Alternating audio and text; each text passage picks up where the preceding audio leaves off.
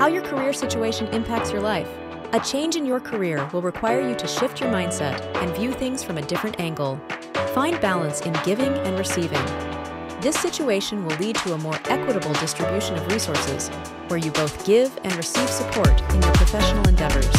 Stay open to learning and growth. Get ready to absorb new knowledge and skills along the way. Be bold and proactive in pursuing your career goals, seizing opportunities with confidence.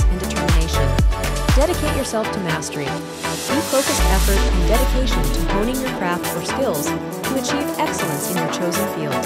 The Sun card brings blessings of joy, vitality, and abundance. This situation will lead to a brighter and more fulfilling future.